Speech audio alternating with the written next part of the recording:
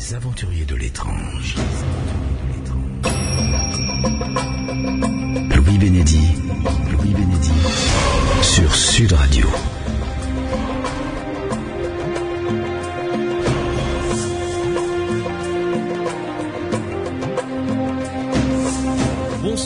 Et bienvenue dans les aventuriers de l'étrange. Ce soir sur Sud Radio, nous allons ouvrir deux dossiers dans cette émission. Début novembre s'est déroulé le festival des arts visionnaires, ça se passait à Sedan, et ce festival s'appelle Chiméria. Je recevrai donc un ethnobotaniste pour nous en parler. Il s'agit de Romuald Le Terrier et avec lui nous découvrirons les rapports tout à fait étonnants qu'entretiennent les chamans de la forêt amazonienne avec leur environnement végétal et surtout comment ils y puisent leur savoir. Pour la première heure, en revanche, je recevrai Frédéric Lenoir, directeur de la publication du Monde des religions et auteur d'un livre tout à fait passionnant, Le Christ philosophe, paru aux éditions Plomb. Dans ce livre, en tant que philosophe et historien des religions, Frédéric Lenoir s'est attaché à découvrir les différences qu'il existe entre la pensée chrétienne primitive, celle vraiment des tout premiers temps, des toutes premières heures, et celle d'aujourd'hui. Autant vous dire que ces deux heures qui arrivent s'annoncent tout à fait passionnantes. Mais avant de retrouver mon premier invité, euh, une annonce. Le jeudi 29 novembre, à l'auditorium de la clinique Saint-Jean de Languedoc, euh, à côté de Toulouse, va se tenir une conférence sur les expériences de, mort imminente. Je sais que c'est un sujet que vous êtes nombreux et nombreuses à avoir envie de découvrir. Euh, une conférence que je vais avoir le plaisir de vous présenter jeudi 29 novembre au soir avec à mes côtés le docteur Jean-Jacques Charbonnier qui est médecin réanimateur et auteur de nombreux ouvrages sur ce sujet, et également Jean Morzel, qui a vécu une expérience de mort imminente extrêmement impressionnante et qu'il nous racontera. Ce sera donc jeudi 29 novembre à 20h30. Pour réserver, euh, voici un numéro de téléphone 05 61 52 78 39 05 61 52 78 39 ou vous pouvez également vous rendre sur le site sudradio.fr et vous allez à la page des aventuriers de l'étrange. Les aventuriers de l'étrange. Louis Bénédy, sur Sud Radio. Frédéric Lenoir, bonsoir. Bonsoir. Vous êtes euh, directeur de publication du Monde des religions. Euh, vous êtes l'auteur d'un livre extrêmement intéressant paru aux éditions Plomb qui s'intitule Le Christ philosophe. Euh, livre dans lequel vous avez de manière tout à fait objective, me semble-t-il, après nous en discuterons ensemble, nous en débattrons durant l'heure qui va arriver, retracé l'histoire de l'évolution de la pensée christique chrétienne depuis le début évidemment, euh, et la naissance des dogmes au fur et à mesure des siècles passants jusqu'à nos jours. Euh, Qu'est-ce qui vous a donné envie actuellement de vous plonger euh, dans un, un, un, ouvrage aussi complexe à réaliser? Ben, En fait, c'est parce que je m'intéresse euh, donc à l'histoire des religions depuis longtemps, et, et notamment aux évangiles et au christianisme, et je constate euh, autour de moi que on connaît très très mal euh, l'histoire de la pensée chrétienne qui, est, qui a joué un rôle déterminant euh, dans l'avènement de la modernité du monde moderne dans lequel nous vivons, oui. d'une part, et d'autre part, on connaît encore moins, j'ai envie de dire, euh, l'originalité très profonde, novatrice qu'a été le message des évangiles, donc la parole du Christ, hein, telle oui. qu'elle nous a été transmise par les évangiles. Et ce qui m'a intéressé, c'est de, euh, si vous voulez, de briser un certain nombre d'idées reçues, de préjugés, d'a priori, de méconnaissances, en montrant d'une part que le message des évangiles euh, était tellement révolutionnaire, tellement fort, tellement novateur, qu'il n'a pas été reçu, compris, mis en œuvre par les disciples qui avaient la charge de transmettre, et que même l'Église en est arrivée à certaines périodes de l'histoire à faire exactement l'inverse que ce que ce message prônait. Et, et, ensuite, la deuxième chose, c'était de montrer que ce message avait une telle modernité qu'il a joué un rôle déterminant euh, 1500 ans après, lors de l'avènement de la Renaissance et des Lumières, et qu'une grande partie de ce qui sont aujourd'hui nos valeurs essentielles, la démocratie, les droits de l'homme, l'égalité de l'homme et de la femme, et bien d'autres choses, proviennent profondément de ce message évangélique sans lequel on n'en serait pas là aujourd'hui. Mmh. Donc voilà, il y avait un désir... Euh, d'apporter, je dirais, de la culture, de la réflexion dans des domaines qui sont euh, très importants et sur lesquels on ne connaît pas bien le, le, rôle complexe et paradoxal qu'a joué l'histoire du christianisme, parce que l'Église a bien entendu, à certains moments de son histoire, lutter profondément contre l'émancipation justement de l'individu, contre l'égalité de la femme, contre la séparation du politique et du religieux, autant de choses prônées par le Christ, et d'où une confusion dans les esprits. Moi, je connais plein de gens autour de moi qui me disent, mais au fond, la République euh, démocratique, la majorité, ça s'oppose totalement au christianisme. Ben, c'est faux. Ça s'oppose, ça s'est opposé historiquement profondément à l'Église catholique, mais pas du tout au message des évangiles. Non, c'en est euh, même un prolongement, c'est ce que vous démontrez d'ailleurs dans, euh, dans votre livre. Alors, euh, pour que l'on puisse bien cerner votre personnalité, Frédéric Lenoir, vous êtes philosophe, historien des religions, je l'ai dit, directeur de publication du Monde des, des religions. à titre personnel, je ne sais pas comment formuler la question. Êtes-vous croyant ou avez-vous la foi? Moi, si, si, vous voulez, je suis un humaniste c'est-à-dire, à titre personnel, ce qui m'intéresse le plus, c'est l'homme. C'est véritablement comment fonder une cité humaine sur des valeurs communes qui permettent le respect, de vivre ensemble, quelles que soient nos différences, quelle que soit la différence de nos croyances. Et pour moi, c'est vraiment ça, à titre personnel, ma, ma conviction profonde, c'est que dans toutes les religions, dans toutes les cultures, vous avez des vérités, vous avez des choses fortes qui permettent d'unir les hommes, et vous avez des, des dogmes, vous avez des, des, des éléments de violence qui les divisent. Donc, je me situe, si vous voulez, pas dans une religion contre une autre, c'est pas mon point de vue. Hmm. Maintenant, au niveau de mes intimes convictions sur le plan de l'au-delà, est-ce qu'il existe euh, un monde invisible? Est-ce qu'il existe quelque chose après la mort? C'est un petit peu ça, je pense, le, sens de votre question. À titre personnel, je dirais que je pense, je suis plutôt euh, croyant dans le sens où j'ai le sentiment, si vous voulez, que le, le monde réel tel qu'on peut le toucher, tel qu'on peut l'analyser par la science, euh, la matière, n'épuise pas le réel profond. Et je crois qu'il existe effectivement un, un, monde invisible qui nous enveloppe, euh, qui est fait de, de choses qu'on ne peut pas encore comprendre. Euh, et donc je pense, si vous voulez, qu'il existe effectivement un au-delà de ce monde. Et je crois qu'il y a quelque chose après la mort. Mais là, on est vraiment sur le registre de la conviction, pas du tout de la certitude rationnelle. Mmh sur le mmh plan intellectuel, je suis un agnostique, c'est-à-dire je suis quelqu'un qui n'ait aucune aucune certitude euh, sur l'existence de Dieu ou pas.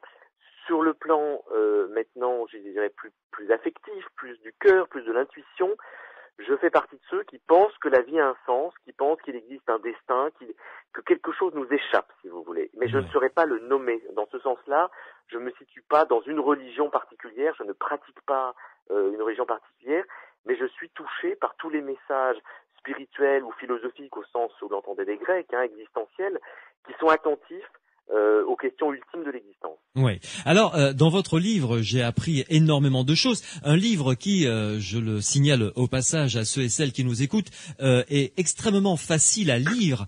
ça n'est pas une thèse, ça n'est pas quelque chose d'absolument abscon, de compliqué, où il faut avoir une culture générale et une culture des religions très très pointue. Vous l'avez voulu à la portée du plus grand large, du plus grand public possible ça me paraissait extrêmement important. Aujourd'hui, vous savez, euh, si on écrit euh, une thèse ou un essai universitaire, on touche 3-4 000 personnes.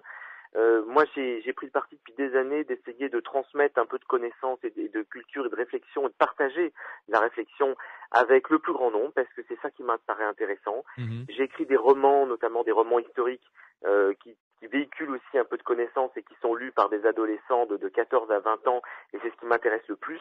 C'est véritablement d'apporter de, si vous voulez, quelque chose qui permette aux gens de se faire leur propre opinion à partir d'un élément de réflexion, de culture, de connaissance. Et je trouve que la philosophie, elle est là pour nous apprendre à penser par nous-mêmes. Et moi, c'est ce que j'ai reçu. La philosophie m'a permis euh, d'apprendre à, à, me faire une opinion sur les choses.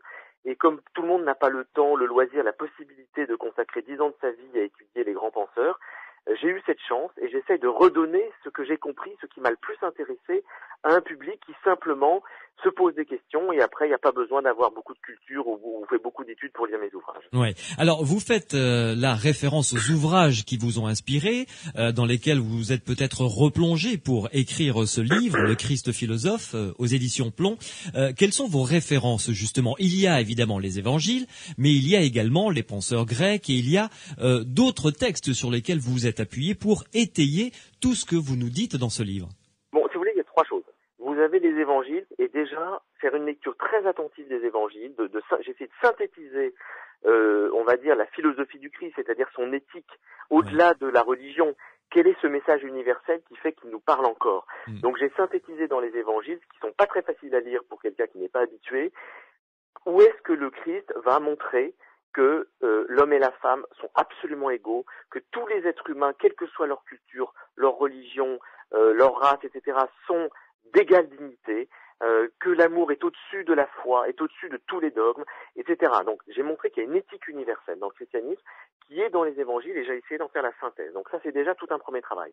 Après, si vous voulez, il y a un deuxième travail qui est de montrer comment à partir de la Renaissance, essentiellement le, le 15e, 16e siècle, et ensuite les Lumières, les auteurs de la modernité, c'est-à-dire ceux qu'on cite aujourd'hui comme les pères fondateurs du monde moderne, euh, ça va de Erasme, Voltaire, euh, Locke, Kant, comment tous ces grands penseurs, qui étaient certains croyants, d'autres n'étaient pas croyants, certains étaient francs-maçons, d'autres étaient catholiques, euh, il y avait de tout. Voltaire et Kant étant sur la liste interdite par l'Église à un moment. Hein. Bien sûr, mais ce sont des gens qui sont opposés fortement à l'Église et qui en même temps, en même temps connaissaient très bien les évangiles, connaissaient très bien cette éthique, cette philosophie du Christ dont je parle dans le livre, et se sont appuyés sur elle pour lutter contre l'Église. Et c'est ça qui m'a intéressé dans ce livre, c'est de montrer le grand paradoxe de l'histoire du christianisme, c'est que finalement, le message évangélique a été porté par l'Église, malgré tous ces égarements, malgré l'Inquisition dont je parle longuement pour expliquer qu'elle a été une perversion totale de ce qu'est le message chrétien, malgré tout l'Église a porté ce message jusqu'à la connaissance des modernes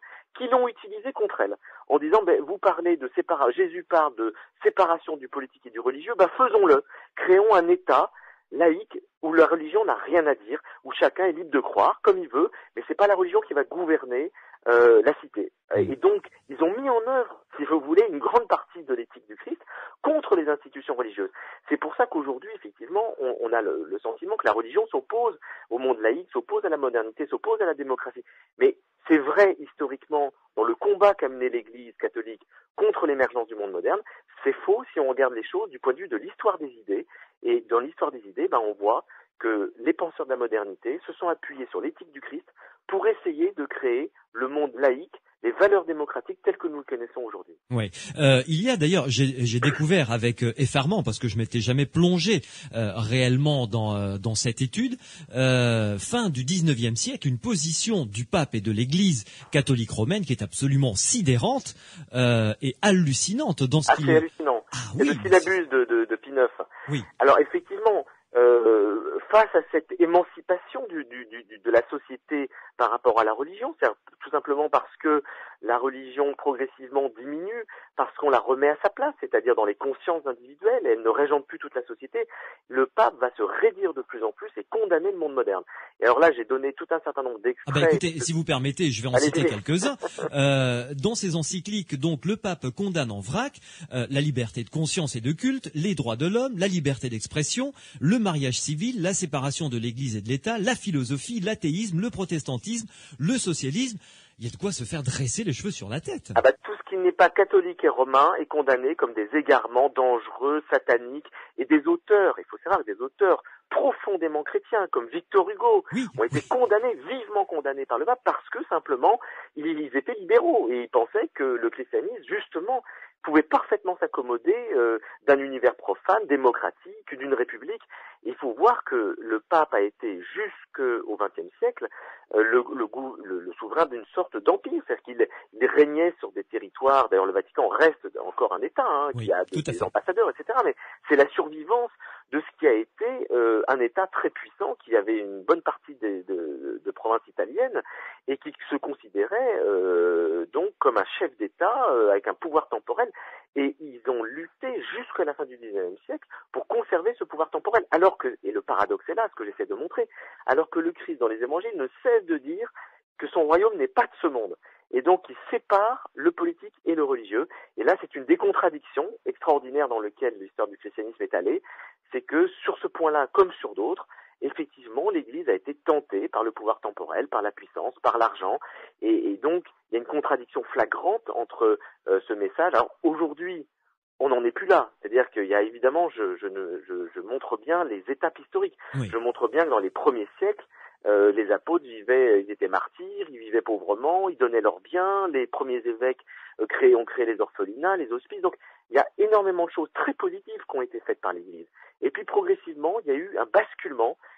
C'est commencé véritablement à la fin du IVe siècle, lorsque euh, Constantin dans un premier temps et Théodose dans un second temps, empereur romain, Mhm. ont fait de l'Église catholique la religion officielle de l'Empire romain. Juste après le concile de Nicée, en fait. Le concile de Nicée, et puis ensuite le concile de Carthage, et il y a eu progressivement, si vous voulez, une tentation du pouvoir temporel. L'Église est devenue puissante et elle a pris goût au pouvoir temporel. Et elle a continué de faire des choses qui ont été admirables, parce qu'il y a eu effectivement quantité d'œuvres charitables qui ont été développées euh, par l'Église, et puis à côté de ça, il y a eu des choses épouvantables, et dont la pire, à mon avis, que j'analyse en, profondeur dans ce livre, parce que c'est vraiment la perversion totale du message chrétien, c'est l'Inquisition, c'est-à-dire torturer quelqu'un, le faire périr, euh, au nom de la charité chrétienne pour sauver son âme. Et là, en violant sa liberté de conscience.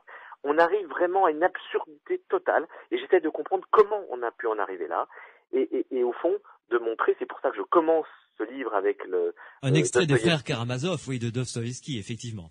Voilà, avec ce passage euh, extraordinaire de, des frères Karamazov, où Dostoïevski raconte cette histoire qui est légendaire, mais qui, qui est un passage d'anthologie que Freud considère comme le sommet de toute la littérature mondiale, euh, qui est cette légende du grand inquisiteur où Dostoïevski imagine qu'au XVIe siècle, au moment où l'inquisition espagnole est vraiment la pire, on, on, brûle des centaines de gens tous les jours, il imagine que le Christ revient sur terre et qu'il revient à Séville en Espagne. À ce moment-là, le grand inquisiteur le reconnaît, le fait mettre en prison et vient lui dire pourquoi es-tu revenu? Alors que nous avons eu tant de mal à nous débarrasser de ce message de liberté que tu as lancé sur la terre, mais sache que les hommes ne veulent pas de la liberté, ils veulent de la sécurité, et nous, l'Église, nous avons apporté la sécurité en empêchant les hommes d'être libres. Et là, il y a un dialogue de 20 pages extraordinaire entre le Christ et le grand inquisiteur, dont j'essaye de donner un petit peu la quintessence dans ces, pages, qui ouvrent le livre et qui montrent bien la contradiction absolue auquel, à laquelle on en est arrivé.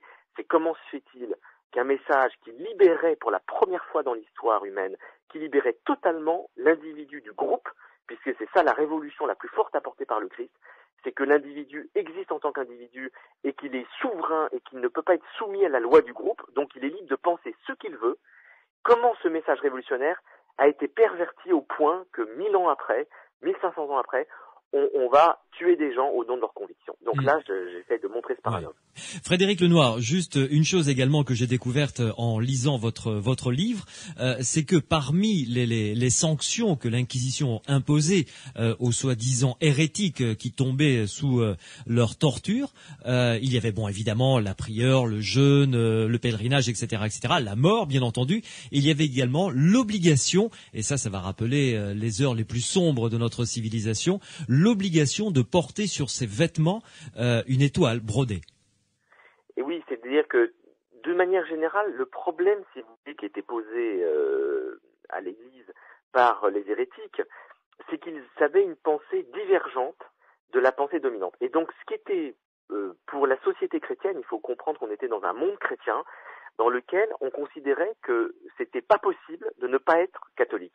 Et donc, ceux qui étaient différents, c'est-à-dire les juifs, qui étaient la seule communauté religieuse qui, qui était tolérée, je dirais, dans le monde chrétien, et les hérétiques, c'est-à-dire ceux qui avaient dévié, qui étaient des chrétiens qui avaient dévié, devaient être reconnus par des signes distinctifs. Hmm. Et donc c'est là qu'est née la fameuse idée d'une de, de, pièce de couleur euh, qui a joué un rôle effectivement euh, ensuite euh, dramatique à notre époque. Mais cette idée est née dans le monde chrétien. Il faut reconnaître ceux qui pensent différemment. si possible les éliminer, mais qu'on ne les élimine pas, au moins qu'on les identifie clairement. Ceux-là pensent mal. Voilà, c'est un peu cette idée-là. Frédéric Lenoir, une première pause dans Les Aventuriers de l'étrange sur Sud Radio et on se retrouve pour reprendre le fil conducteur, votre fil conducteur, euh, c'est-à-dire euh, chronologique à partir de euh, du Christ et ensuite jusqu'à nos jours, on va retracer évidemment en survolant parce qu'il faut absolument que les gens lisent votre livre pour bien comprendre la progression et la naissance des dogmes dans dans l'Église, enfin dans la chrétienté, dans le monde chrétien jusqu'à nos jours. On se fait une pause et on se retrouve dans quelques instants. À tout de suite. Les aventuriers de l'étrange. Louis Bénédy sur Sud Radio. Frédéric Lenoir est mon invité ce soir sur Sud Radio dans Les Aventuriers de l'étrange avec euh, ce livre euh, fabuleux qui s'intitule Le Christ philosophe paru aux éditions Plomb. Alors euh, Frédéric Lenoir, ce qui est intéressant dans votre démarche, c'est que on commence par le début évidemment en se posant la question qu'on est en droit de se poser finalement quand on est historien comme vous et que on se met à, à sa table de travail, le Christ, d'abord Jésus, a-t-il réellement existé? Bah, Il me semble c'est la première question qu'il faut se poser parce que euh, il y a 2000 ans, il reste plus beaucoup de traces historiques hein, de, ce qui s'est passé. Mm. Et, je crois que pour tous les grands fondateurs de religion anciens, se pose vraiment la question, Moïse a-t-il existé, Bouddha a-t-il existé, le Christ a-t-il existé? C'est une question qu'il faut se poser.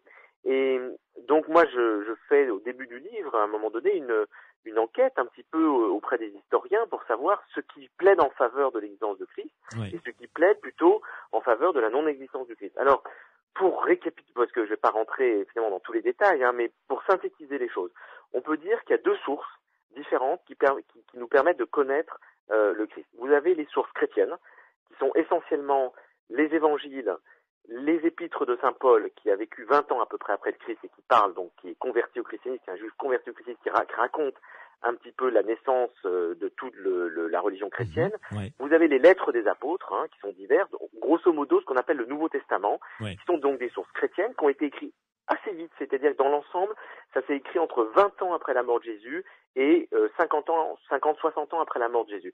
C'est assez proche, c'est-à-dire qu'au fond, à l'époque, on avait une mémoire euh, très importante orale, et c'est lorsque les gens, les témoins euh, mouraient qu'on on mettait par écrit les choses pour être sûr que la mémoire orale ne se Ouais. perde pas.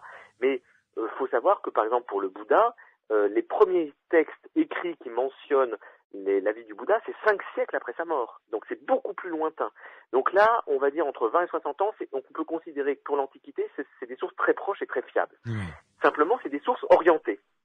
Parce qu'elles sont écrites par des chrétiens, par des disciples du Christ, par des disciples de disciples du Christ, et, leur rôle n'est pas d'informer, elle est de, de convaincre, elle est de communiquer un message. Donc on peut les mettre en doute. Alors la question qui se pose, c'est est-ce que ces gens ont inventé toute cette histoire, la vie de Jésus, son message, etc., euh, ou est-ce que ce personnage a vraiment existé et a transmis ses paroles? Les deuxièmes sources, alors là c'est intéressant parce qu'elles sont non chrétiennes, ce sont des historiens de l'Antiquité, Mhm. il y en a essentiellement trois hein, euh, que je cite en donnant les références, de, en Ouais. citant les, les sources anciennes, qui sont du premier siècle, donc euh, légèrement postérieurs mais contemporains de, de la naissance du christianisme, et qui citent effectivement un certain Jésus-Christ ou le frère de Jésus, Jacques, qui a gouverné l'Église euh, euh, à peu près 30 ans après sa mort, et qui disent qu'il y a eu un certain homme nommé Jésus qui a été crucifié sous Ponce Pilate. Donc ça, on retrouve quelques sources extérieures Mhm. ce qui permet de valider de manière plus fiable l'existence du Christ, mais ce qui nous dit pas grand-chose sur sa vie. Ouais. Et alors, Euh, euh, chose intéressante à titre anecdotique, ça peut être euh, d'ailleurs euh, la base d'un excellent scénario à la Da Vinci Code euh, pour un film, c'est la source Q, c'est-à-dire la lettre Q qui vient du mot quel en allemand, qui veut dire euh, source, hein, c'est ça? Oui, Euh, Ce serait, alors, euh, on suppose l'existence d'un euh, d'un manuscrit euh, où euh, auraient été retranscrites toutes les paroles de Jésus, manuscrit qui aurait disparu à la Oui. fin du premier siècle à peu près. Tout à fait. Alors effectivement, si on prend maintenant les sources chrétiennes, et juste pour terminer sur la question de l'existence du Christ, Ouais. on n'a pas de preuves absolues comme on, comme on peut en avoir pour Jules César, parce qu'il y a des quantités de monnaies, de documents, etc. Mais on a une preuve par l'absurde. C'est-à-dire de dire au fond, qui aurait pu inventer une telle histoire que ça n'ait jamais eu de, qu'il n'y ait jamais eu, si vous voulez, de gens qui, qui, qui lâchent le morceau en disant, bah voilà, ça a été construit de toutes pièces, et comment ça a pu avoir un tel impact sur ses contemporains que des dizaines et des dizaines de gens consacrent leur vie, euh, meurent martyrs, etc., pour quelqu'un qui n'a pas existé pour une légende? Mm. Personne ne peut lancer une légende aussi forte, aussi puissante, avec surtout, et c'est ce que je montre dans le livre, des, des inventions, c'est-à-dire les idées chrétiennes sont totalement novatrices. Et donc il y a eu un événement, il y a eu un personne, une personne qui a véritablement créé une onde de choc. Alors après, je, on peut être certain de l'existence de Jésus. Après, il est bien évident qu'on peut pas être certain de toutes les paroles qui sont attribuées à Jésus. Mhm. Et donc toute la difficulté pour l'exégèse, c'est d'arriver à dire cette parole semble authentique, cette parole ne l'est peut-être pas, elle a peut-être été inventée 30 ans après pour justifier telle ou telle action. Donc là, il y a un tri à faire, il est extrêmement difficile de le faire. Alors pour Ouais. répondre maintenant à votre question sur la source Q, ce qu'ont montré les exégèses et les historiens modernes, qui sont donc des scientifiques, qui ne sont pas forcément des croyants et qui donc cherchent à comprendre le texte, on s'est rendu compte que les quatre évangiles avaient une source commune. Et que cette source commune, elle a disparu. C'est effectivement un recueil de paroles de Jésus qui, qui doit être très ancien, ça qui a dû être écrit quelques années après la mort du Christ, qui a circulé dans toutes les premières communautés chrétiennes et qui a servi d'inspiration aux évangiles qui ont été écrits quelques décennies après sa mort.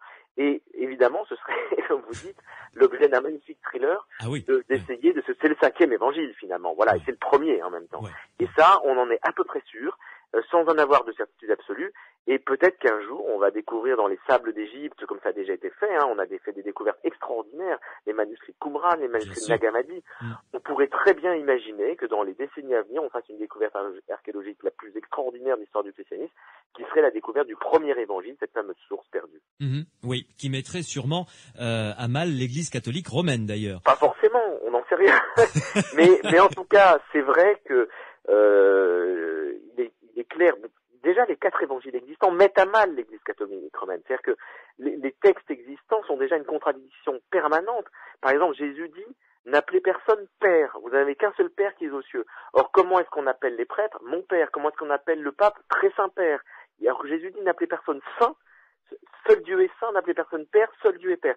Et donc, on se rend compte que tout l'évangile est une contradiction, si vous voulez, à un certain nombre de dogmes, de pratiques, d'usages qui se sont développés après dans le christianisme, puisque les hommes étant des hommes, eh ben, ils ont repris des habitudes humaines. Et, finalement, euh, voilà, on, on s'installe ensuite dans la religion chrétienne, comme on s'installe dans n'importe quelle religion, avec les mêmes réflexes, alors, et c'est une des thèses que j'essaie de montrer, que le, message du Christ était une sorte de dépassement de la religion. Mhm. On allait vers quelque chose de beaucoup plus universel, qui appelle à la conscience personnelle de chacun. C'est une sorte de spiritualité individuelle qui peut se partager avec d'autres, qui ne supprime pas l'idée de communauté, mais qui n'était pas la création d'une nouvelle religion. Ouais. Euh, Frédéric Lenoir, dernière chose concernant euh, le, le, Christ et l'histoire, de manière tangible. Euh, les historiens s'accordent à dire en règle générale que la naissance du Christ, ce serait aux alentours de moins 4 à peu près. Euh, donc euh, avant sa naissance. Oui. voilà. oui, il est né 4 ans avant lui. oui, voilà. Et euh, qu'il serait mort non pas à l'âge de 33 ans, mais 35-36 ans à peu près. Ben, C'est-à-dire que ça décale les choses. Mm. Parce qu'effectivement, on pensait qu'il était né en l'an 0 et qu'il était mort à 33 ans. Donc on se dit, ben voilà, il est donc l'an 33. Et, et sauf qu'on s'aperçoit que il est effectivement bien mort, très probablement en l'an 33 parce qu'on retrouve la, la, fête de Pâques avec des donc il y a toutes sortes de, de, de travaux euh, astronomiques même qui permettent de calculer à quelle fête de Pâques il est mort. Par contre, euh, on sait avec certitude aujourd'hui historiquement qu'il est né au moins quatre ans avant l'an zéro. Et pourquoi? Parce que le calcul a été fait au VIe siècle par un moine qui s'appelle Denis le Petit, qui a, vous savez que ça c'est d'ailleurs quelque chose qu'on ne sait pas du tout. Dans l'Antiquité, il n'y avait pas de datation universelle. Donc on calculait le temps à partir, dans chaque culture, dans chaque région du monde, à partir de l'empereur régnant. Donc on est en l'an 12 de César, en l'an 15 d'Hérode, donc on, on, calcule toujours le temps par rapport à l'empereur, au, au, souverain. Et il n'y avait que les juifs qui avaient établi une chronologie par rapport à, à, ce qui était écrit dans la Bible comme la naissance du monde. Euh, et au VIe siècle, il y a un pape qui a demandé à un moine de faire la même chose que les juifs, c'est-à-dire dire on va calculer le temps à partir de la naissance de Jésus-Christ. Et donc on va faire un calendrier universel euh, et on, va essayer de calculer. Il, il, a fait une erreur, ce moine, euh, et il s'est trompé d'environ 4 ans, et on en a la certitude parce que euh, Jésus, il nous est dit à la fois dans des sources évangéliques et à la fois dans des sources historiques chez des historiens non chrétiens que Jésus est né sous Hérode. Hérode le Grand, qui effectivement est un, est un roi juif qui a bien existé, mais Hérode est mort en moins 4 avant Jésus-Christ. Donc Jésus est forcément né en moins 5 ou moins 6 avant Jésus-Christ. Donc il est né avant euh, la mort d'Hérode. Euh, et du coup, ben, on s'aperçoit qu'il faut décaler de quelques années le calendrier chrétien, ce qui fait qu'effectivement, c'est pas l'an 2000 qu'on a fêté. on est décalé de plusieurs années. Et ce qui est très intéressant, c'est que les Éthiopiens, qui sont des gens euh, donc des Africains qui ont été convertis très très tôt au christianisme, hein, qu'on mhm. appelle les Coptes, euh, dès les premiers siècles, et eh ben eux, ils avaient calculé la bonne date de naissance, et donc, ils ont 4 ans de décalage, ils ont 6 ans de décalage. Pour eux, Jésus est né en moins 6 avant Jésus-Christ. Et donc, aujourd'hui, ils sont beaucoup plus, si vous voulez, en vérité par rapport euh, à la chronologie mmh. réelle de l'histoire du christianisme. Ouais. Alors, euh, maintenant, on va, euh, je dirais, s'attaquer à des dogmes fondamentaux, qui sont maintenant des dogmes fondamentaux de, de, de l'Église, et, et, voir un petit peu comment ils ont été distordus comme ça au fil du temps. On va commencer par le le plus simple, le plus important, c'est l'égalité absolue entre tous les hommes, quel que soit leur sexe, leur race, leur position sociale. Et ça, c'était un, une base fondamentale du discours de Jésus. Alors, ça, c'est la base fondamentale. C'est-à-dire, c'est ce qui est le, plus prégnant dans les évangiles, c'est que on était dans un monde antique qui était, euh, on va dire, gouverné essentiellement par la pensée euh, gréco-romaine. Et la pensée gréco-romaine, c'est une pensée aristocratique. C'est-à-dire qu'il y a, euh, il y avait des démocraties hein, qui existaient, mais dans les démocraties, tout le monde n'était pas égal. Vous aviez les citoyens qui pouvaient voter, et puis vous avez ceux qui n'étaient même pas considérés comme des citoyens, les esclaves, les enfants et les femmes. Voilà, donc c'est très simple. Donc vous aviez que les hommes qui étaient ni esclaves ni étrangers, les étrangers n'en parlons pas. Bon, donc vraiment c'est très limité, si vous voulez, comme type de, de, de notion d'égalité et de démocratie. Et vous aviez par ailleurs le, le monde juif, euh, qui lui considère que le juif, euh, à l'époque du Christ, est supérieur aux autres hommes, et que donc euh, il y a euh, euh, une distinction à faire entre les juifs et les non-juifs. Hmm. Jésus arrive là-dedans, au carrefour de ce monde juif et de ce monde gréco-romain, et il va casser tout ça, en disant il n'y a plus de différence, il n'y a pas de différence au regard de Dieu entre un homme et une femme, entre un enfant et un adulte, entre un juif et un non-juif, entre un, un, citoyen de la cité et un étranger. Il n'y a plus aucune différence. Tous les hommes, toutes les femmes, tous les êtres humains sont égaux en dignité devant Dieu. Et là, ça change tout. Ça veut dire du coup qu'on ne peut plus établir dans une société des castes, euh, comme ça existe d'ailleurs aujourd'hui encore en Inde. On ne peut plus établir des différences fondamentales qui fait que certains individus auraient des droits et d'autres n'en auraient pas. Donc c'est la première grande révolution de l'histoire de la pensée qui va nous introduire 1500 ans plus tard dans la modernité occidentale. Hmm. Mais il aura fallu 1500 ans pour digérer ce message, tellement il était révolutionnaire.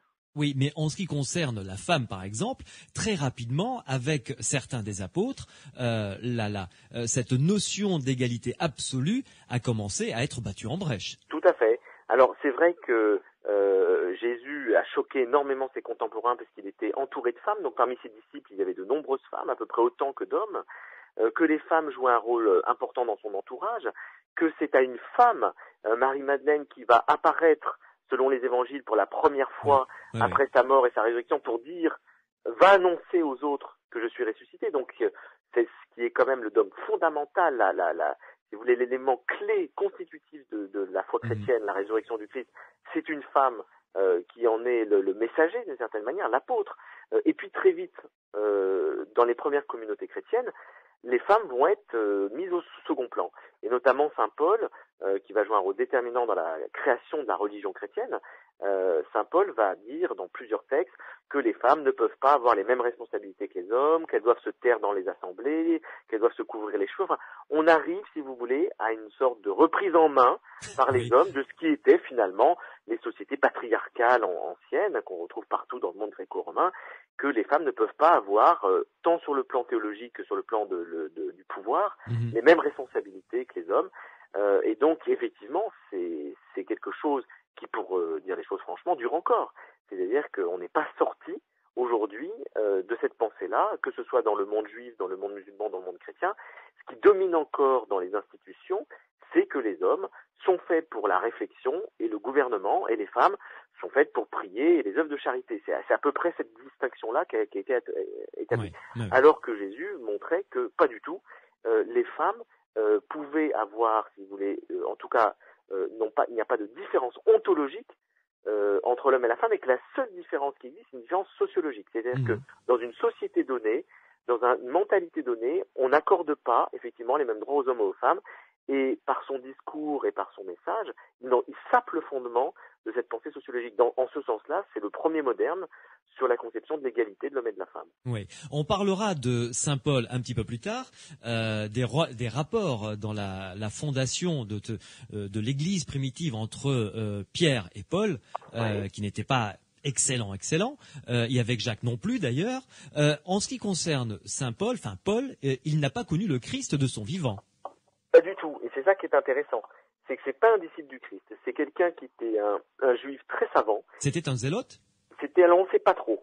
Il y a des théories qui disent que c'était un zélote et un homme politique qui, qui, qui, qui, était en faveur de la libération d'Israël, mhm. euh, de, du joug de, de, des Romains. Mhm. Euh, vous saviez, vous aviez trois grandes... Bon, pour comprendre un petit peu le, le milieu dans lequel est Jésus, vous aviez chez les Juifs euh, les Sadducéens, qui étaient un groupe qui s'occupait du temple de Jérusalem et qui faisait vivre le temple, c'était les grands prêtres. Vous aviez les pharisiens, qui étaient plutôt les docteurs de la loi, les théologiens, les gens qui réfléchissent. Vous aviez euh, les, les zélotes, qui étaient plutôt des agitateurs politiques, c'est-à-dire des gens qui, au nom du judaïsme, voulaient se battre contre les Romains. Et puis vous, vous aviez les Esséniens, qui étaient des ermites qui allaient vivre dans la 16 et dans la solitude. C'est ceux qui ont vécu à Qumran, dont on a retrouvé les manuscrits. Mm. Alors Jésus, lui, dialogue avec tout le monde, mais il fait partie, on voit bien, d'aucun de ces groupes. Il est totalement libre par rapport à ces groupes. Saint Paul, lui, était certainement un pharisien. C'est-à-dire c'était quelqu'un qui était un intellectuel, mais un pharisien qui était peut-être aussi un zélote. Donc ça, il y a des thèses là-dessus qui sont un peu contradictoires. En tout cas, c'était un homme violent. C'était un homme qui avait beaucoup de d'agressivité en lui et à tel point qu'il commençait par persécuter très violemment les chrétiens. Il nous est raconté dans le livre des Actes des Apôtres, qui est un récit très très étonnant, qui raconte les débuts de l'Église primitive et dont vraiment l'authenticité semble euh, très fiable qui nous raconte que Paul, avant de, de, se convertir au christianisme, et eh ben par exemple, c'est lui qui a organisé le martyr d'Étienne. Oui, en le lapidant. En le lapidant, en le faisant lapider, tout simplement, parce qu'il était un, un, juif très très euh, zélé, on peut dire, qui, qui, ne supportait pas euh, mm. l'idée de la réforme qu'avait introduit Jésus euh, dans la religion juive. Et puis un jour, euh, il nous est raconté dans les Actes des Apôtres que Paul va à Damas pour persécuter des chrétiens et pour les faire mettre en prison, et il a une révélation il tombe de cheval et il perd la vue et il entend une voix qui lui dit Paul, Paul, pourquoi Enfin Saul, Saul, parce que c'était son nom juif. Pourquoi me persécutes-tu? Voilà. Pourquoi me persécutes-tu?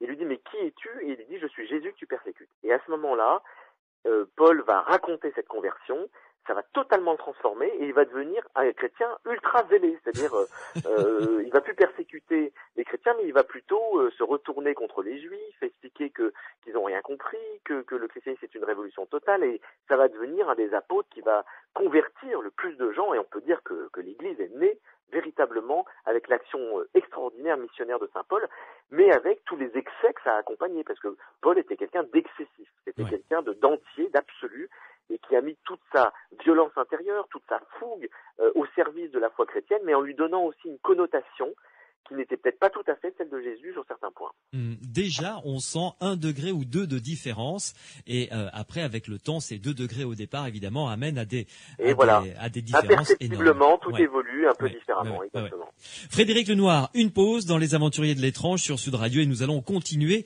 euh, comme ça à, à, découvrir votre progression euh, à travers le livre dont je rappelle le, le titre, votre livre, Le Christ philosophe aux éditions Plomb.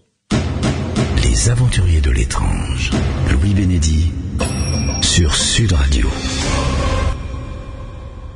Les aventuriers de l'étrange ce soir sur Sud Radio avec euh, mon invité euh, Frédéric Lenoir qui est euh, directeur de publication du monde des, religions, historien des religions, philosophe. D'ailleurs, à signaler quand même un peu de, publicité pour le monde des religions. Il y a un très très bon document, non pas un document, mais un dossier, sur le christianisme primitif. Hein voilà les euh, premiers chrétiens. Comment, comment vivaient les premiers chrétiens en l'entend. Hmm. Donc, euh, euh, à se reporter à ce dossier et également à votre livre le, Christ philosophe paru aux éditions Plomb pour continuer à, découvrir la distorsion des, entre le discours de Jésus et le, ce, qui en est maintenant de l'Église euh, chrétienne ou l'Église catholique romaine, euh, pour parler de la, portion la plus importante de la chrétienté, euh, la liberté de conscience. Ça, c'était vraiment à la base quelque chose de fondamental également dans le discours de Jésus. Oui, tout à fait. c'est une des choses qui, m'est apparue moi le plus importante dans, dans la révolution aussi des évangiles. Il y a l'égale dignité de tous les êtres humains, on en a parlé. Il y a la liberté de conscience. Et il y a une parole que je trouve tellement forte et tellement extraordinaire que je l'ai longuement commentée dans l'épilogue du livre, c'est la rencontre de Jésus avec la femme samaritaine. Euh, et je crois que pour faire comprendre ce que c'est que la liberté de conscience pour le Christ, j'ai envie d'en dire un petit mot, si vous voulez bien. C'est un passage de l'évangile de Saint Jean, chapitre 4, où euh, Jean nous raconte, euh, Jésus marche avec ses disciples, il traverse la Samarie, et la Samarie, c'est une petite région, une petite enclave dans le, monde juif de l'époque où il y a des hérétiques, on va dire, qui sont les Samaritains. Les Samaritains, ce sont des gens qui ne pensent pas comme les Juifs, qui sont d'origine juive, mais qui ne sont pas d'accord avec la, grande majorité des Juifs, qui considèrent que le temple de Jérusalem est le lieu où on doit rendre un culte à Dieu. Et les Samaritains, eux, pensent que le lieu où on doit rendre un culte à Dieu, c'est la montagne de Samarie. Donc ils ont fait un temple sur la montagne et ils pensent que c'est pas à Jérusalem, mais sur la montagne de Samarie qu'on doit rendre un culte au vrai Dieu. Et ils sont du coup détestés des Juifs et tous les évangiles ont traversé de, phrases très violentes contre où on montre que les Juifs détestent les Samaritains et les Samaritains détestent les Juifs. Donc on est dans l'histoire classique des religions.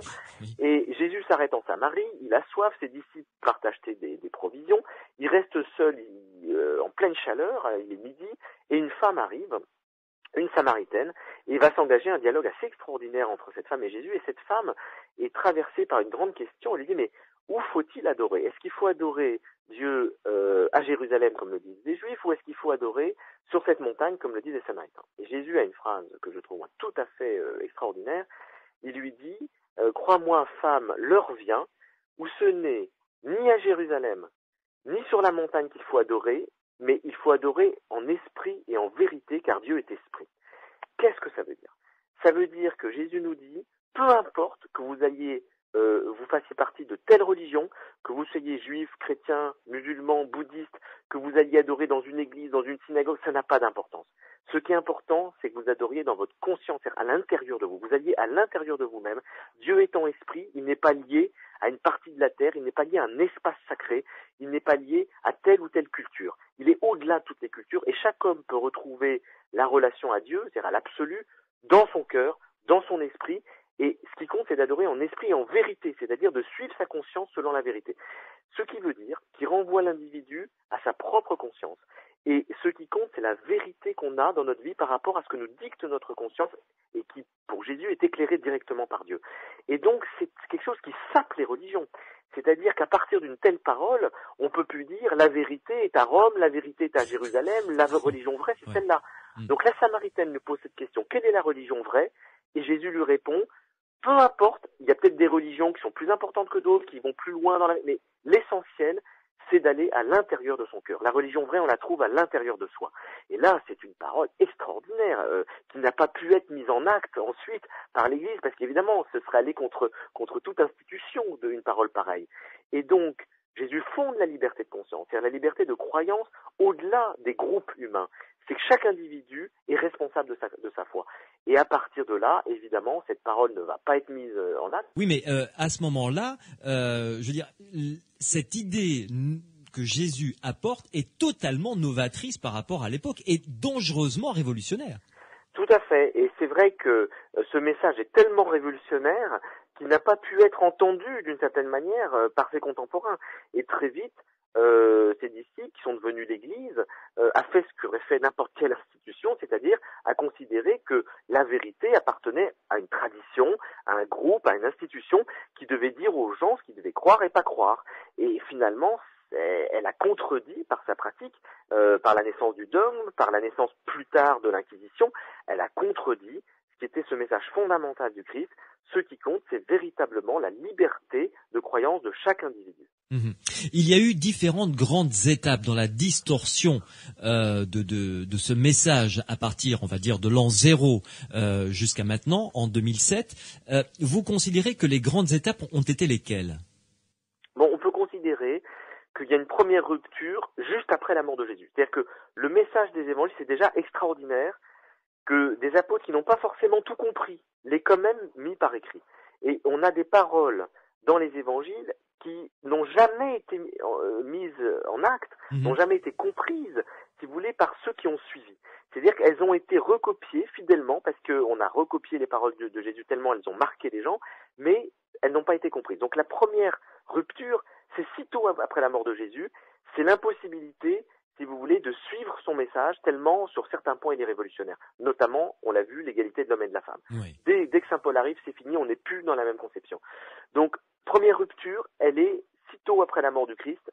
Sur certains points, on ne peut pas le suivre, si vous voulez. Première rupture. Mais néanmoins, un certain nombre de paroles, comme euh, le fait, par exemple, euh, d'essayer de, distribuer ses biens aux pauvres, que l'argent euh, est quelque chose qui peut éloigner de la religion vraie, parce qu'on considère que ce qui est important, c'est de partager, c'est la non-violence, le fait de ne pas répondre à la violence par la violence. Il y a tout un mhm. certain nombre de, messages qui ont été entendus. et donc, l'Église primitive va quand même mettre en œuvre, mettre en acte un certain nombre de préceptes mm. évangéliques qui vont d'ailleurs permettre de se développer. Elle va être à la fois persécutée par les autorités euh, romaines parce qu'elle refuse de rendre un culte à l'empereur, hein, et puis en même temps, ils vont avoir de plus en plus de succès parce qu'il va y avoir des œuvres de solidarité, ils vont aider les pauvres, etc. Et l'Église va commencer à se développer.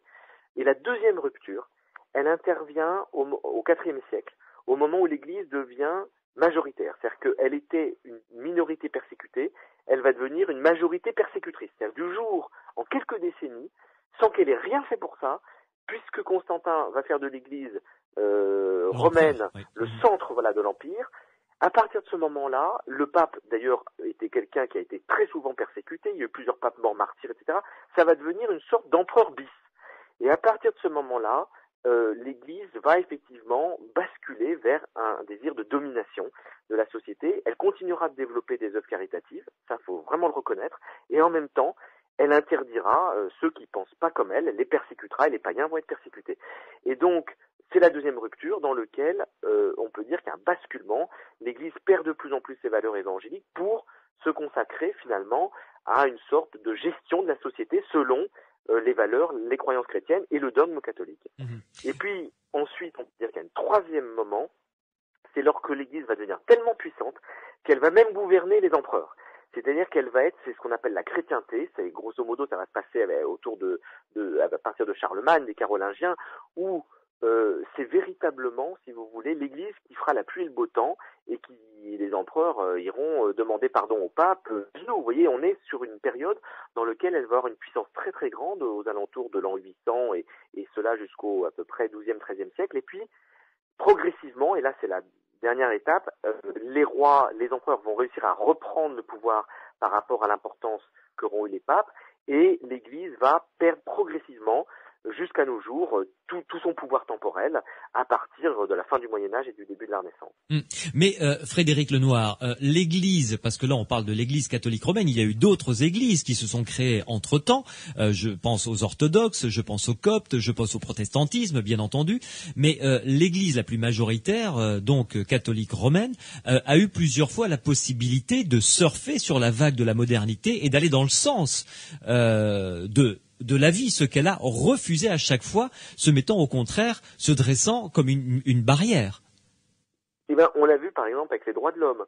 Euh, lorsque la Révolution française euh, et américaine, anglaise, enfin toutes les révolutions euh, à la fin du XVIIIe siècle ont, on, prôné, si vous voulez, des droits, des Bill of Rights, des droits humains fondamentaux qu'il faut qu'on respecte la pensée de chacun, la liberté de conscience, la liberté de tolérance, la liberté d'expression, euh, l'égalité des hommes et des femmes. Lorsque tous ces, droits de l'homme ont été publiés, l'Église s'y est totalement opposée, euh, parce qu'elle considérait qu'elle seule était en droit de décider ce qui était bien, ce qui était mal, mais que les hommes n'avaient pas à, prendre cette décision-là. Alors que le message lui-même des droits de l'homme, c'est ce que je montre dans ce livre, est profondément d'inspiration évangélique. C'est-à-dire que ceux qui ont rédigé les droits de l'homme se sont directement inspirés des évangiles. Et la notion d'égalité, liberté, égalité, fraternité, qui est la devise républicaine française, ce sont trois mots clés qui sont au cœur du message évangélique. Donc, mais simplement, on l'a laïcisé, c'est-à-dire qu'on l'a sorti du contexte religieux, clérical, on pourrait dire, pour en faire des valeurs universelles euh, auquel adhère tout le monde, quelle que soit sa religion. Et l'Église n'a pas accepté ça, parce qu'elle s'est dit à partir du moment où on va laïciser la pensée chrétienne, eh ben ça va nous échapper. C'est-à-dire le pouvoir va nous échapper. On ne pourra plus contrôler les choses. Et c'est ce que je trouve vraiment fascinant dans l'histoire de l'Occident, c'est qu'au fond, euh, les valeurs les plus profondes de l'Évangile se sont développées en dehors de l'Église. Et aujourd'hui, nous vivons tous dans des valeurs qui sont chrétiennes, sans même qu'elles aient l'étiquette chrétienne, ça n'a aucune importance, et que l'Église a profondément combattu pendant des siècles. Sauf qu'aujourd'hui, l'Église est devenue beaucoup moins puissante euh, et que vous avez 90% euh, du clergé, des prêtres, des évêques et des laïcs engagés dans l'Église qui admettent parfaitement les droits de l'homme et qui, qui sont, si vous voulez, se sont convertis aux valeurs modernes. Mhm. Mais ça s'est fait dans un premier temps euh, avec une résistance extraordinaire. Et c'est pour ça que, d'une certaine manière, euh, on a en tête un peu l'idée que le christianisme, c'est vraiment quelque chose euh, de terrible contre lequel il a fallu se battre dans un univers laïque pour essayer de s'émanciper, de libérer la femme, de libérer les individus du groupe. De... Bon, et c'est vrai historiquement, ça s'est passé comme ça. Mais ce qu'on oublie de voir, parce qu'on ne connaît pas tout à fait l'histoire euh, de la pensée, c'est qu'en même temps, ces valeurs fondamentales, elles sont pas venues de nulle part. Et moi, la grande question que je pose dans ce livre, c'est est-ce que la modernité, les droits de l'homme, la démocratie pourquoi est-ce que ce n'est pas né en Chine? Pourquoi est-ce que ce n'est pas né en Inde? Pourquoi est-ce que ce n'est pas né dans l'Empire ottoman? Pourquoi est-ce que c'est né en Occident? Et la réponse que j'essaie d'expliciter, c'est parce que l'Occident était imprégné des valeurs évangéliques qui ont permis, si vous voulez, aux individus de conscientiser toutes ces notions de liberté de l'individu, euh, d'égalité de tous les êtres humains, et que ces notions-là euh, se sont euh, de la pensée religieuse pour devenir des, une pensée laïque que chacun peut s'approprier, quelle que soit sa religion, mais la source, elle est dans l'Évangile. Mhm. Donc, il est absolument incontestable euh, que euh, nos racines sont profondément chrétiennes. Ah, mais oui. le, monde occidental euh, puise ses, ses, ses, racines dans le, le, le, creuset chrétien. Alors, évidemment, je crois vraiment que d'ailleurs n'importe quel historien le reconnaît, mais après, moi, je n'aime pas le mot racine parce que le mot racine est ambigu. Euh, la racine, c'est un peu ce qui est à la source, si vous voulez. Or, le christianisme n'est pas à la source de tout ça. À la source du christianisme, vous avez quand même la pensée grecque, le droit romain, la foi juive, qui sont vraiment euh, les sources auxquelles le christianisme euh, s'est abreuvé pour faire naître une synthèse nouvelle Mhm. avec des éléments totalement révolutionnaires, comme je l'ai expliqué, sur certains points. Et, et donc le christianisme a à la fois été la synthèse de quelque chose de plus ancien et apporter des éléments nouveaux. Donc moi, plutôt que de dire qu'il y a des racines chrétiennes à l'Occident, je préfère de dire qu'il y a des racines juives, grecques, mésopotamiennes, celtes, romaines à l'Occident, et que le christianisme a été la matrice de l'Occident. C'est-à-dire qu'a réuni toutes ces racines, a apporté des éléments nouveaux et a fait naître le monde occidental. Donc c'est vraiment la matrice. On a accouché. Le christianisme a accouché de, du monde moderne, du monde occidental. Mais le grand paradoxe, c'est que euh, c'est que cet accouchement s'est fait justement dans une opposition à l'institution catholique. Mhm. Et donc c'est ça qui brouille complètement les choses, hein, les pistes, et qu'on n'arrive pas à y voir clair dans toute cette histoire de l'Occident. C'est qu'en fait, euh, l'Occident s'est émancipé de sa matrice, s'est retourné contre sa matrice pour faire naître euh, le monde moderne, tout en, en, en reprenant ses valeurs. Ouais. Frédéric Lenoir, une pause à nouveau et on se retrouve dans quelques instants parce que il y a euh, un sujet que j'aimerais aborder, euh, auquel vous consacrez euh, pas mal de, pages dans votre livre, c'est ce concept selon lequel il faut souffrir et le Christ est mort sur la croix en souffrant pour rejoindre Dieu. Et ça, vous vous expliquez, bah, vous allez le dire tout à l'heure, on, va en parler avec un éclairage tout à fait nouveau et qui semble à mon avis, plus juste. Vous restez avec nous dans Les Aventuriers de l'étrange sur Sud Radio. On se retrouve dans quelques instants. Les Aventuriers de l'étrange. Louis Bénédy sur Sud Radio. Frédéric Lenoir, directeur de publication du Monde des religions, euh, historien des religions, philosophe, est mon invité ce soir euh, pour euh, le livre qu'il vient de publier aux éditions Plomb, Le Christ philosophe. Frédéric Lenoir, je l'ai esquissé tout à l'heure, le thème de la souffrance pour conquérir son paradis, ça n'est absolument pas, au départ, le message du Christ. Et non, effectivement, c'est une grosse déviation du message du Christ qui fait que des générations entières de chrétiens ont été élevé, si vous voulez, au catéchisme, avec cette idée qu'il fallait souffrir hein, pour gagner son paradis, que bah, si on souffrait mieux. Ouais. Voilà, et ça l'est, ça l'est encore beaucoup moins, hein, faut dire aujourd'hui. Il euh, y a quand même mais ça l'est dans, dans, le catéchisme. Si vous lisez le catéchisme de l'Église catholique, c'est encore ça. Vous avez encore un certain nombre de prêtres qui enseignent ça, même si, il faut le dire, le christianisme a beaucoup évolué depuis 30 ans, depuis le Concile Vatican II notamment, Mhm. mm -hmm. et que ce discours-là, on l'entend de moins en moins. Mais ça a été pendant 2000 ans effectivement une tonalité dominante de la catéchèse catholique. La souffrance fait partie, si vous voulez, des éléments indispensables pour euh, gagner le ciel. Voilà, pour dire les choses euh, simplement. Ouais. Or, c'est pas du tout ce que nous, nous montre et ce que nous dit le Christ dans les évangiles. C'est que la souffrance, si on regarde bien le, la vie du Christ, le fait qu'il soit mort de manière violente, il a souffert, il a terriblement souffert à sa fin, ce n'est pas quelque chose qu'il a voulu ou recherché. C'est quelque chose qui s'est imposé à lui malgré lui. Et il dit très bien, euh, il veut très bien montrer dans les évangiles, euh, qu'il ne souhaitait pas du tout vivre cette, cette, passion, vivre cette souffrance. Il dit à Dieu, éloigne de moi cette coupe, si je peux éviter. Mais en même temps, il ne peut pas l'éviter. Et pourquoi il ne peut pas l'éviter? Pour des raisons politiques, pas pour des raisons théologiques. Il n'avait pas besoin de souffrir, entre guillemets, pour délivrer son message. Il n'avait pas besoin de souffrir pour transmettre ce qu'il avait à faire. Par contre, son message était insupportable pour les autorités religieuses de son époque, parce qu'il contestait complètement euh, la nécessité de la religion, il disait qu'il n'y avait pas besoin d'autorité religieuse pour euh, aller directement, pour rencontrer mmh. Dieu et pour avoir une vie spirituelle. Donc, il était en contradiction, si vous voulez, très forte avec les autorités religieuses. Et donc, il y avait deux solutions. Il suscitait tellement, et puis il se disait fils de Dieu, enfin, des choses qui étaient inacceptables. Donc, il n'y avait que deux solutions. Ou alors il se taisait, ou il partait en exil, ou alors il allait, être euh, condamné. Et donc, lorsqu'il est monté à Jérusalem pour la dernière fois, les évangiles le montrent très bien, il dit à ses disciples, je vais mourir, je vais à Jérusalem et ce que je vais dire ne va pas être accepté, je vais mourir.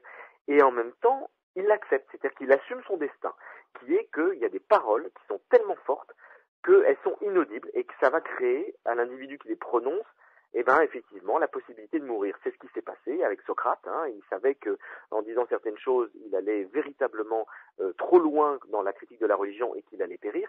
Et puis vous avez tout au long de l'histoire de l'humanité des gens qui sont morts martyrs hein, pour une cause parce qu'ils disaient, ils défendaient une vérité qu'ils ne voulaient pas se taire. Mmh. Et ça, c'est pour ça que le Christ est mort. Donc la souffrance du Christ, elle est simplement liée au fait qu'il a été jusqu'au bout dans sa vie de la vérité qu'il professait.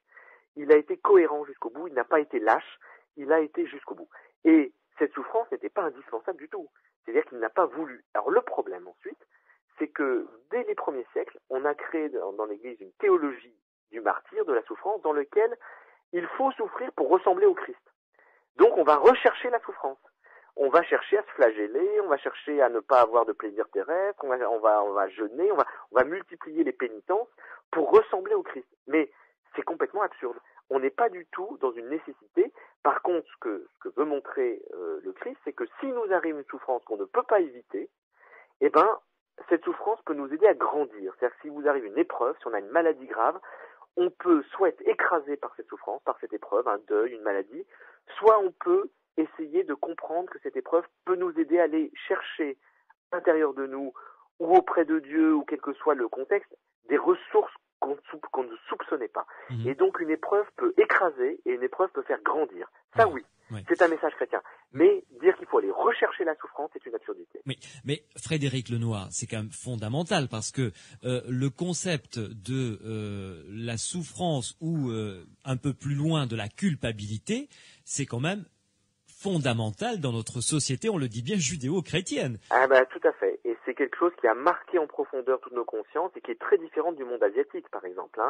L'idée de culpabilité n'existe pas dans le monde asiatique. Moi, j'ai beaucoup travaillé sur le bouddhisme. C'est une idée qui n'existe pas.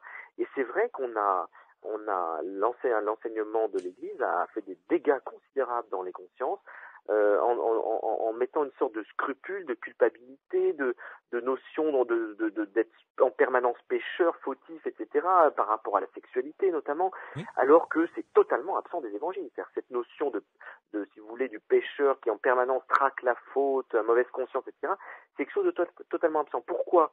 Parce que dans le christianisme, et, d'ailleurs il y a des passages extraordinaires des évangiles à ce sujet-là, le problème de la morale, c'est-à-dire d'accomplir bien la loi ou pas, n'est pas central. Le Christ montre que ce qui compte, c'est l'amour. Et que peu importe, on peut errer, on peut chuter, on peut faire des choses qui ne sont pas bien, etc. On peut toujours essayer de progresser pour aimer plus, et c'est ça qui compte.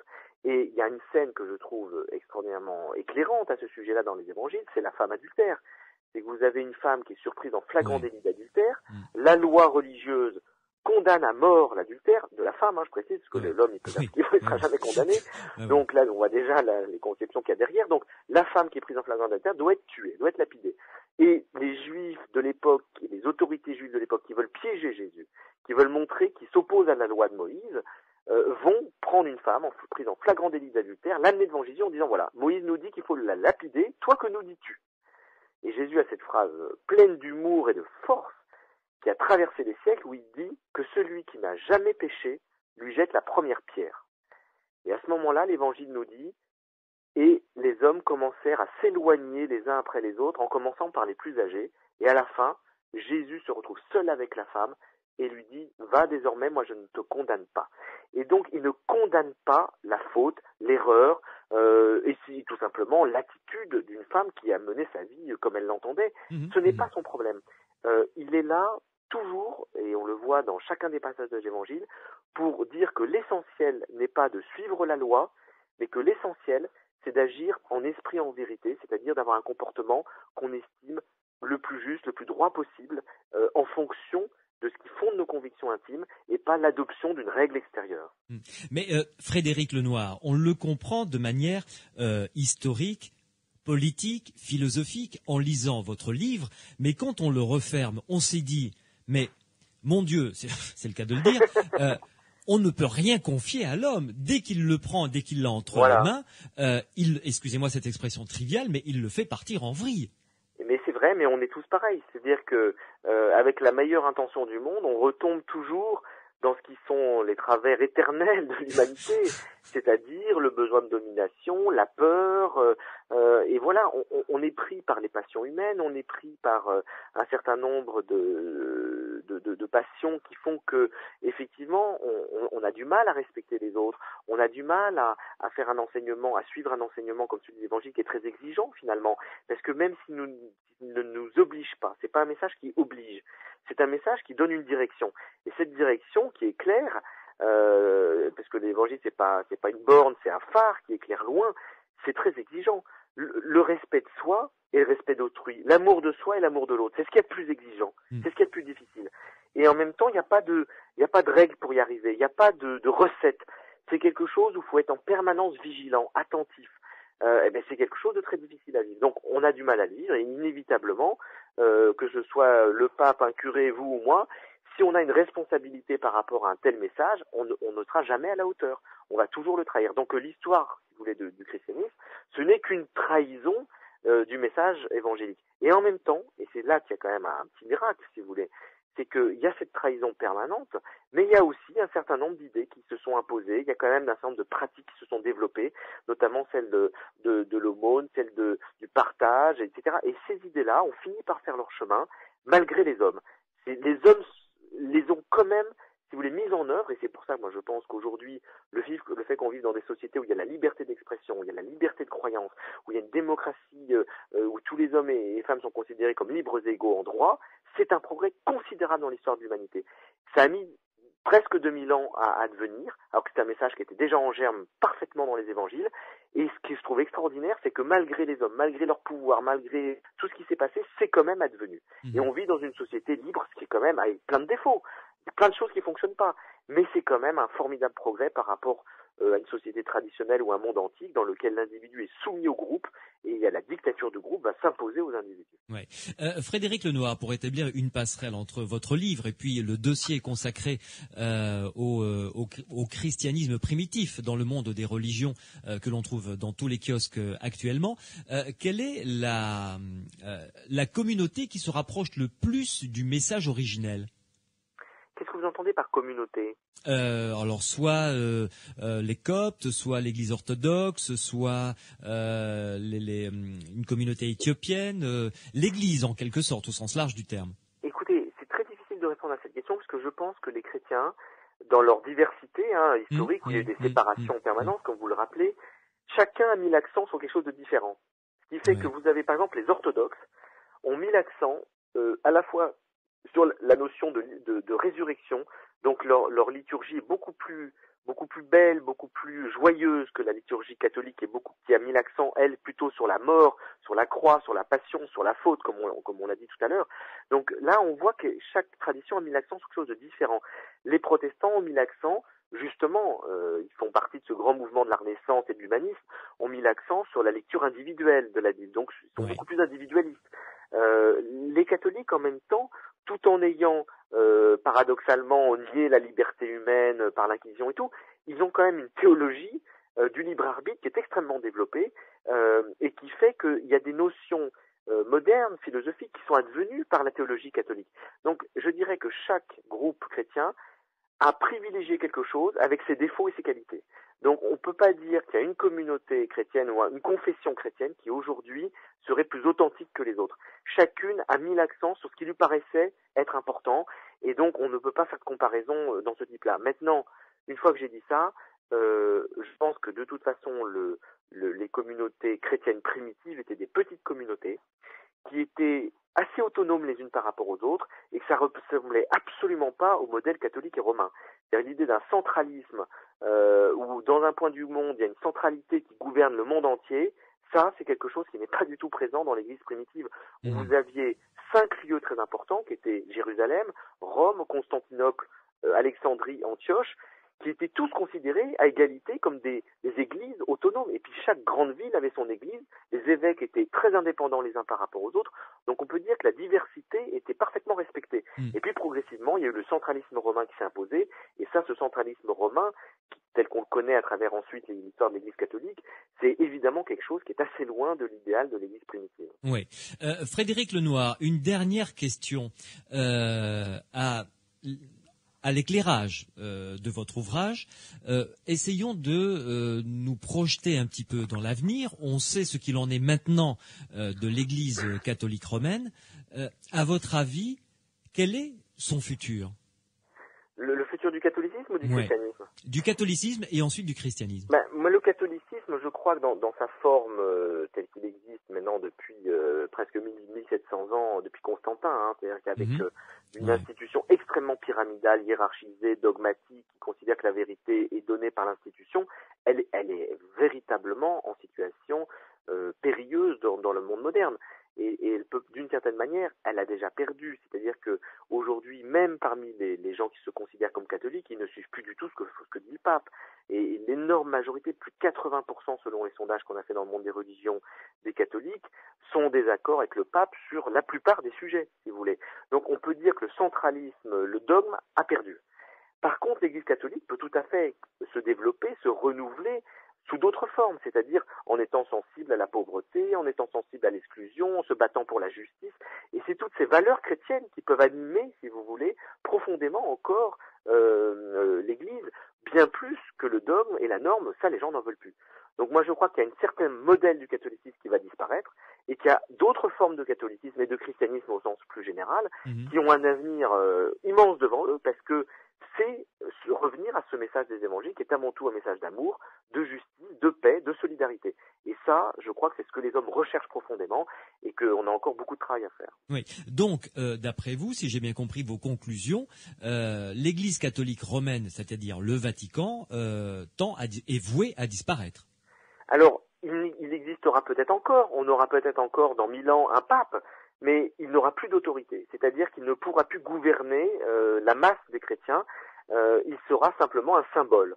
Et je crois que ce qui est condamné à disparaître, c'est véritablement l'autorité du magistère de l'Église mhm. qui considère qu'elle possède la vérité. Ça, c'est condamné à disparaître, euh, à mon avis. Par contre, le fait qu'il y ait un symbole que les catholiques se reconnaissent dans la personne du pape comme étant effectivement le successeur de Pierre, pourquoi pas? Mais ce sera plus un symbole qu'une réalité d'une gouvernance des esprits. Et ça, je crois que plus aucun, aucune institution à l'avenir ne pourra véritablement prétendre gouverner les esprits. Mhm.